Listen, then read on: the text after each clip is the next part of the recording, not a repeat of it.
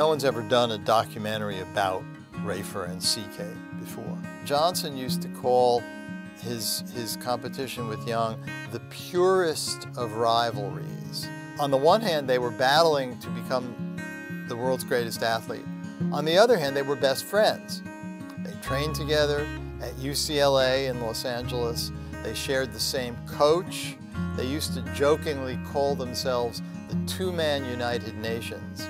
And they remained friends for the rest of their lives. One of the goals of making the film was to introduce both Rafer Johnson and here in Taiwan, especially C.K. Yang, to a new generation of people who don't know much about him. He was the first person from Taiwan to win an Olympic medal. He's the first person with a Chinese surname to ever win an Olympic medal. He was one of the world's greatest athletes. Um, he was a symbol of Taiwan in its battle for greater acceptance, greater legitimacy, greater international space. CK Yang had three different opportunities to be engaged with the Olympic Games, and to one degree or another, all of them were shaped by this Taiwan-China competition or rivalry. In 1960, there was this boycott threat. When the Taiwan team marched into the Olympic Stadium for the opening ceremony, Taiwan team has this placard that says under protest. And it's the first time in the history of the Olympic Games that there was a open political protest by a team that had ever taken place. Then in 1964 was this episode where a teammate put something in his drink and he didn't win a medal. And then in 1976, when he kind of recovered, he was the coach of the Taiwan team for the Montreal Olympics. They got to Montreal only to discover that the Canadian government had just established diplomatic relations with China. And as a result, again, this issue came up, you can't call yourself a Republic of China. And at that point, the government was had a different attitude and just said, we're pulling out.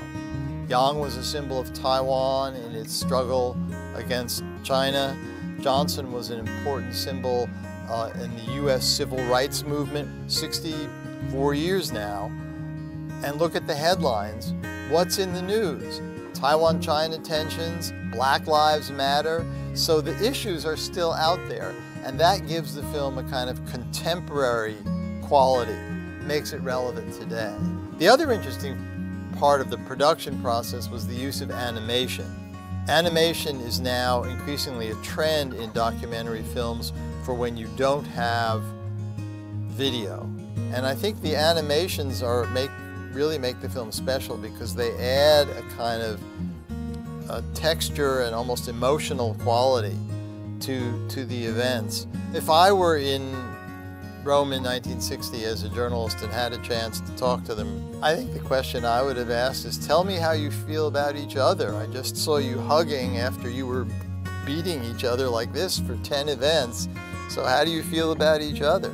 And in our documentary, Rafer Johnson, you hear him answering that question because what he says was, as good as I felt about winning, I felt bad that my friend has had lost. As bad as he felt about not winning, he felt happy that his friend had won.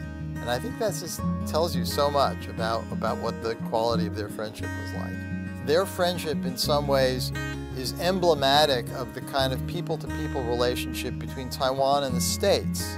It sort of transcends all the big politics and so on. Um, and so in a way, it was an opportunity to sort of tell this aspect of Taiwan's story without having to get into all the heavy-duty political stuff that always dominates the news all the time. It's a, it, it, humanizes, in a sense, and it shows that these bonds are there and that they're very strong. So I think he does deserve the recognition, and it's my, very much my hope that if enough people see the film that maybe some people will be inspired to try and do something to get him some greater recognition.